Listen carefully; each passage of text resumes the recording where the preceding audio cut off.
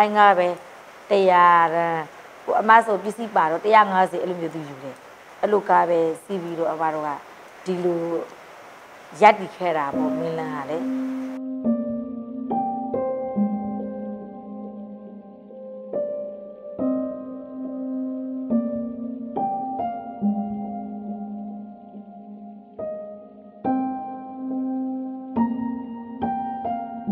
အစအမရခိုင်ကလာတော့ကကြတော့အမတို့က ငွေတသိန်းခွေပါတယ်ရန်ကုန်ကိုလာတာပေါ့နော်ဆိုတော့အသုံးရဆိုင်နဲ့အမတို့မှလည်းငွေ9000လောက်ပဲကြံပြီးခွေကအဲကြတော့အမတို့မောင်လေးပဒိန်နဲ့ပဲ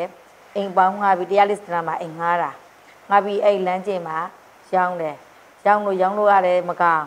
အဲ့ထဲမှာလေပြင်းတိတ်တော့အဲ့ခုံကလည်းအထက်သားလေးနဲ့ထားတာလေအဲ့ခုံရောထီရောအကုန်လုံးပါပါထီလေကျိုးပကံတွေလည်းကွေး အဲကြတော့အမတို့ကပိတ်ဆံကားလည်းမရှိတော့ဘူးအဲနောက်ဆုံးအမအဖွားမှာရခိုင်ကရွှေနေလို့လက်စောက်လေးတစ်ကွင်းကိုအမကအပေါင်ဆိုင်မှာသွားပေါင်တယ်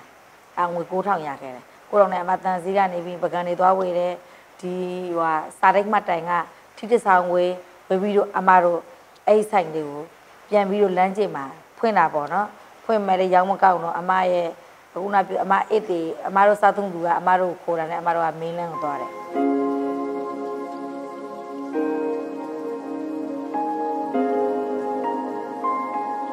င်းနဲ့တော့တဲ့ခါလေအမတို့မှာဟို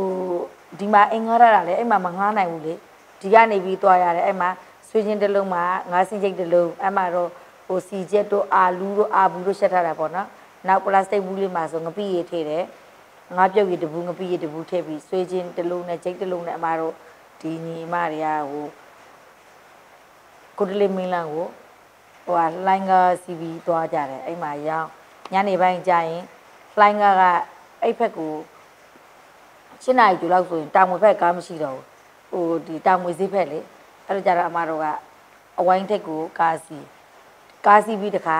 တာမွေဈေးကိုလမ်းလျှောက်လမ်းလျှောက်ပြီးမှတာမွေဈေးရောက်မှပဲလိုင်းကားစီပြီးတော့အမတို့အိမ်ပြန်ရတာပေါ့နော်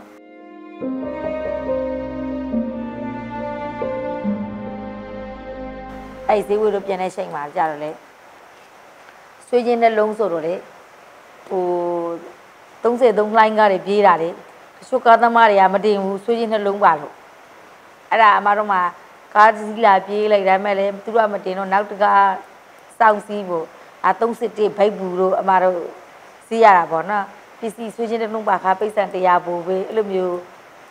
အမတို့ကတော့ဒီလိုဖြတ်လာတာပေါ့နော်အခုအချိန်မှာပဲအမတို့ကကိုယ်ပိုင်ကားစီးနိုင်တာလေအဲ့တုန်းကတက်စီငားရင်လဲ 2500ပေးရတော့ဒီ2500ကိုအမတို့ကတိတ်မသုံးနိုင်ဘူး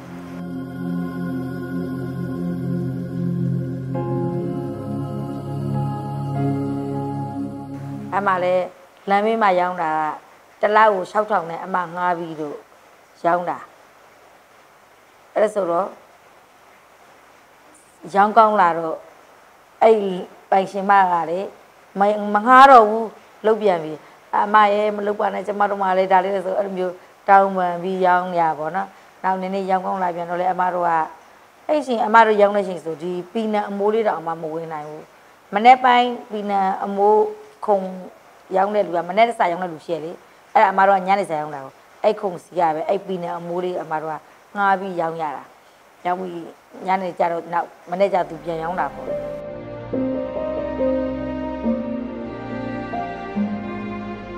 အဲ့ဆိုအဲ့မှာရောင်းနေရင်းနဲ့အမတို့ဟိုအဲ့လမ်းထိပ်မှာလေမြင်ညီထားလေသူများဈေးလာဖွင့်တာသူတို့ရောင်းမကောင်းလို့ထွက်တော့တော့အမတို့အဲ့ဟာလေးကို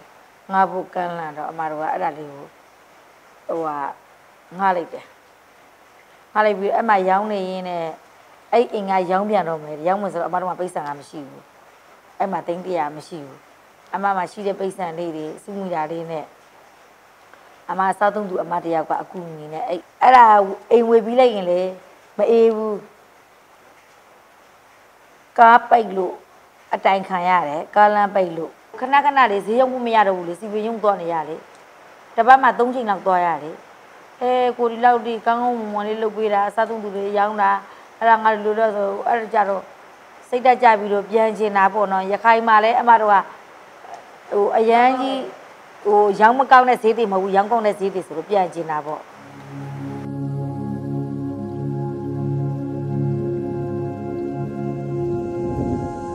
ခင်းနေရှက်ပြီးတော့ပြန်နှွေးပြီးရောင်းတာကိုအမကမကြိတ်ဘူး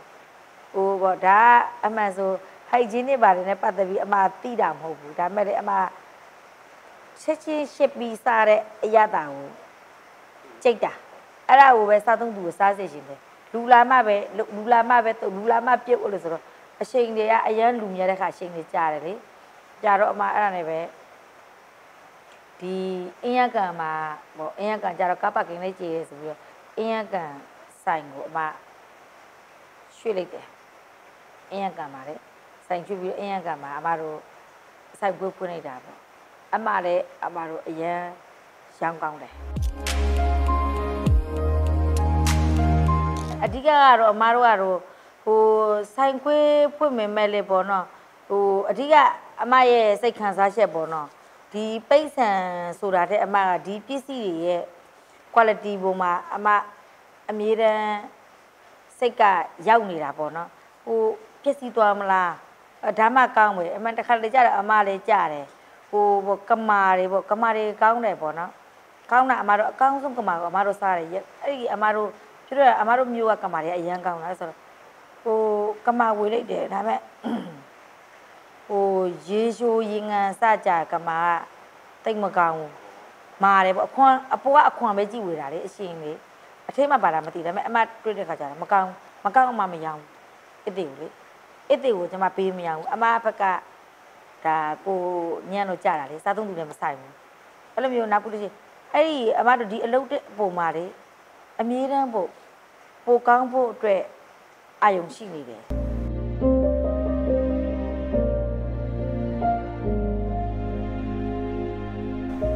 quality ရေပေါ့နော်ကပ်ပါကင်ပေါ့အပိစားသုံးသူတွေကိုလေစိတ်ချမ်းသာသာလေးနဲ့စားစေခြင်းနဲ့အေးအေးချမ်းချမ်းလေးစားစေခြင်းနဲ့အမတို့မင်းလမ်းမှာပေါ့အိမ်လေးဝေလိုက်ပြီးတော့နောက်မှမီးဖို့ကြောင်းနဲ့ရှေ့မှာစားကြတော့လေအောက်ကမီးဖို့အခိုက်ကလည်းပူတယ်လေအစ်တွေကလည်း အစားအသောက်ကလည်းပူတော့အရန်ပူတာပေါ့နော်အဲအမစိတ်မှာအဲ့ဒီအစ်တွေတွေကိုအေးအေးချမ်းချမ်းလေးအမစားစေခြင်းနဲ့ဟိုပေါ့အရကွန်လေးနဲ့ဟိုကိုယ်စိတ်မှာပေါ့နော်အေးအေးချမ်းချမ်းလေးနဲ့ဟိုစားတယ်အာမိသားစုတွေနဲ့ဟိုအစင်တပြေစားကြတယ်ပေါ့ကပ်ပါကင်စီလို့ဆိုလဲပူစရာမလိုဘူးအစားအသောက်ဆိုလဲကောင်းကောင်းလေးကိုအမစိတ်ကဟိုဖြစ်စီချင်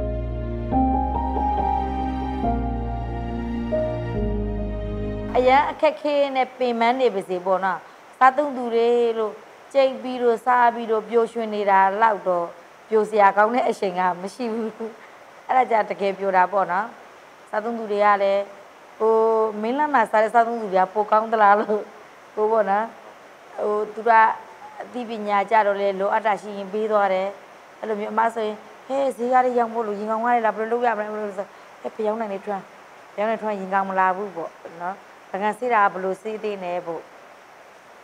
မုန်းဒီကအဲ့လိုမျိုးဟိုဇွမ်းကအမြန်လို့ရင်မပြောင်းဘူးဘယ်လိုစေးအဲ့လိုမျိုးဟာလေးတွေကအစပေါ့စားသုံးသူတွေကလည်းအမကိုအမြဲတမ်းတင်ပေးတယ်အမတို့ကလည်းအဲ့ဒါကိုလိပ်ပြီးတော့ပေါ့နော်သူတို့ကိုအစားအသောက်ကိုစိတ်ချမ်းသာသာနဲ့အမစားစစ်ချင်တာပေါ့ကိုစီကိုပေါ့စားမယ်လို့ရွေချက်နဲ့ရွေးရှင်လိုက်တဲ့ကလေးကအမက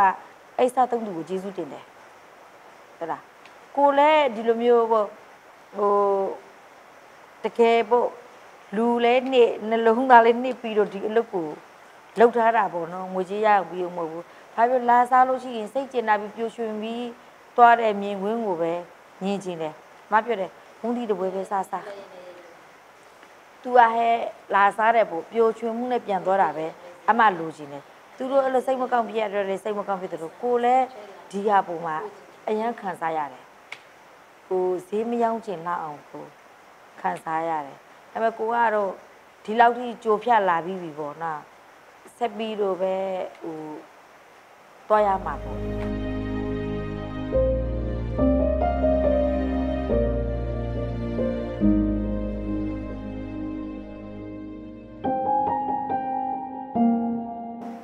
အဲ့ဒါတော့အမားတို့ကဒီဟိုဟာအခုနဟိုဟာ syndication ပေါ့နော် အခုတော့ syndication ပေါ့အမအစားကတော့အဲ့လိုမျိုးတနေရာတွေကလုတ်ပြီးတော့ပေးလို့ရှိလို့ရှိရင်အမစီမံနိုင်တာပေါ့နော်ကိုနေရာမှာဟိုရှက်ဒီနေရာမှာဒီရှက်ဆိုတော့ဒါကဟိုလူလောက်တာဖြစ်တော့လွေးရှို့နိုင်တယ်ပေါ့နော်အဲကြောင့်မို့အမတို့ကဒီမြောက်တကုံမှာဟိုဟိုဒါက quality ဘိုင်းပေါ့နော်မြောက်တကုံမှာ syndication အမလုပ်လိုက်တယ်အဲ့မှာအမတို့ကရခိုင်ကပင်လယ်စာတွေလည်းအကုန်လုံးအဲ့ကိုဝင်တယ် အမှဆန်တွေဆိုလည်းဆန်တွေကဆန်ကအစနေပြီးအမတို့ကရေတန်းနဲ့ရခိုင်မွန်ဒီမုဖတ်အတွက်ဆန်ကြိတ်ကြတယ်ပင်လယ်စာတွေဆိုလည်းအမတန့်ရှင်းလုပ်ကြတယ်လုပ်ပြီးလို့ရှိရင်အကုန်လုံးခယူတွေပါထုရွေးပြည်ကြီးငါတွေဆိုလည်းအခွန်ခွာခွာပြီးမှပဲအဆိုင်ကိုဘလောက်ဆိုတာအမတို့ကဒီရွှေကုန်းတိုင်းလမ်းမမှာအမတို့ယုံရှိတယ်ယုံကနေပြီးလို့ရှိရင်ဆိုင်ရဲ့ around data ပေါ့နော်ဒီဆိုင်ကတော့တငါတွေပွေးတရားဆွန်တယ်ပြည်ကြီးငါကပွေး တရားဆွန်တယ်ဆိုတာတွေကိုသူကစီရင်ကောက်တယ်ကောက်ပြီးလို့ရှိရင်အမတို့မြောက်ကုံကိုစီရင်ပို့တယ်အဲ့ခါကိုလုတ်ပြီးလို့ရှိရင်အမတို့ကဆိုင်ကိုရှပ်ပေးတယ်ဟင်းအနည်းဆိုလို့ရှိရင်အမတို့ကမနေ့၄နာရီဂျူတီဝင်တဲ့လူတွေရှိတယ်ဂျူတီဝင်တဲ့လူတွေက၄နာရီကနေပြီးလို့ရှိရင်ငရုသီးတွေပါတယ်ကြိတ်ကြကြိတ်ကြတယ်ပေါ့အမတို့ကိုယ်တိုင်ပေါ့ငရုသီးတွေကြိတ်ကြကြိတ်ပြီးလို့ရှိရင်ဟိုကငါတောက်ဆန်းတဲ့အနှစ်တွေရှက်တယ်ရှက်ပြီးလို့ရှိရင်ပါကင်ထုတ်တဲ့ဆက်လေးနဲ့ တဝေးစားတဝေးစားထုတ်ပြီးလို့ရှိရင်အမတို့ကစိုက်နေကိုပတ်ပူပေးတယ်အဲ့လိုခဏန်းလေးပါခဏန်းရှက်တယ်ဆိုလေအဲ့လိုမျိုးပဲအနှစ်တွေရှက်တယ်ရှက်ပြီးလို့ရှိရင်ပါကင်ထုတ်တယ်အတုပ်အတွက်ဆိုလေငရုသီးစိမ့်လေးတွေတခြားစားရည်စိမ့်စိမ့်ပြီးလို့ရှိရင်ပွင့်နဲ့စစ်စားတော့ငရုသီးစိမ့်တစ်ထုပ်ချက်တော်ဖြူတစ်ထုပ်ငရုတ်ကုန်းတစ်ထုပ်အဲ့ဒါကိုစိုက်နေရောက်တဲ့ခါသူကပလက်တာနဲ့ကြည့်ပြီးလို့ရှိရင်ဒါတွေကိုဟင်းပွေထုတ်ကြတယ်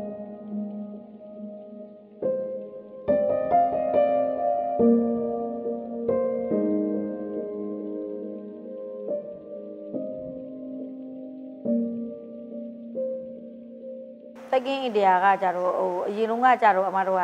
ဟိုရန်ရောက်စားကအဲ့လိုငဖေးတွေပါတယ်ဝေးတယ်ဆိုရင်ကွက်ကိုမတ်တရပြီးသွားဆောင်ကြတယ်နောက်ကြတော့အမတို့ဆက်ကွမြက်တဲ့ခါအမတို့မဆောင်နိုင်ဘူးကလေးတွေစောက်ခွင်းတဲ့ခါအမတို့လိုချင်တဲ့ quality မရတော့ဘူးမရတဲ့ခါအမ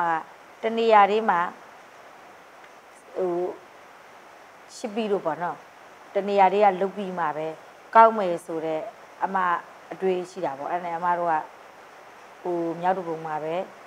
စက်မှုစုံတင်မှာပဲအမတို့ကလေးထပ်တိတ်ဆောက်တယ်ဆောက်ပြီးလို့ရှိရင်အောက်မှာဟိုအစိမ်းတွေကင်ကြတယ်ပေါ့အပေါ်တစ်ထပ်မှာကျတော့အကျက်တွေငဖေးတွေပါတယ်ကြိုးပေါ့အဲ့လိုမျိုးမလုပ်ပဲဆိုင်တိုင်းလုပ်လို့ရှိရင်ဆိုင်တိုင်းမှာလူအင်အား300မှာရဲပေါ့နော်ဟိုဆိုင်တိုင်း quality control ဖို့အမမလိမ့်နိုင်ဘူးတနေရာတွေကလုတ်ပြီးတော့ပို့လို့ရှိရင်ပေါ့အရွက်တွေဆိုလဲမှာတော့အဲ့မှာအရွက်ဝေတယ် အရွက်ဖြင်သမားတွေကဖြင်တယ်ဖြင်ပြီးလို့ရှိလို့ရှိရင်စားရည်စိန်နဲ့ရှာလကရည်စိန်စိန်ပြီးမှပဲဒီဆိုင်ကအရွက်စုံဟိုတုတ်အရွက်တနတ်တုတ်လေတနတ်တုတ်ဆိုတာဝင်း90ကုန်မဆိုရင်90စာတပူးစာတပူးစာနဲ့တပူးကိုစင်ကကြတာတပူးတပူးအကုန်လုံးအမဟိုအဲ့အရွက်ရှောက်မျိုးအဲ့ဒါ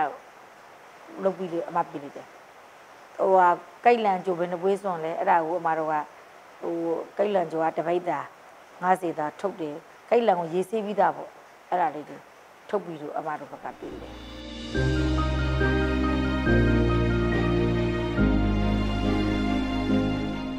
အမတို့လည်းပေါ့နော်ဒီမင်းလန်းလမ်းဘေးမှာစာလမ်းဘေးမှာရောင်းပြီးတော့ပေါ့နော်အောင်မြင်လာတော့လူတွေကမင်းလန်းမှုကြီးဆိုပြီးနာမည်ပေးခဲ့ကြတာပဲပေါ့နော်အမတို့လည်းလမ်းဘေးစီးတွေကစခဲ့တာပဲပေါ့ဟိုအမပြောချင်တာကတော့ပေါ့နော်ဟို ပိဿံဘလောက်ရမှလုံနိုင်မှာမဟုတ်ဘူးနဲ့ပေါ့နော်အဓိကတော့ပိဿံနည်းနည်းလေးပဲရှိသေးတယ်မြင်မြင်ကြမှာဆိုတာထက်လေအဓိကဒီဟိုဟာပေါ့ဟိုဟာအဓိကတော့ပေါ့နော်ဟိုအစားတောက်အမတို့ကအစားတောက်ဆိုအစားတောက်နံပါတ်1ကတန့်ရှင်းရမှာပေါ့နော်နံပါတ်2ကကြတော့ကိုယ်လုပ်ငန်းကိုတကယ်စိတ်ဝင်စားပြီးတော့လေ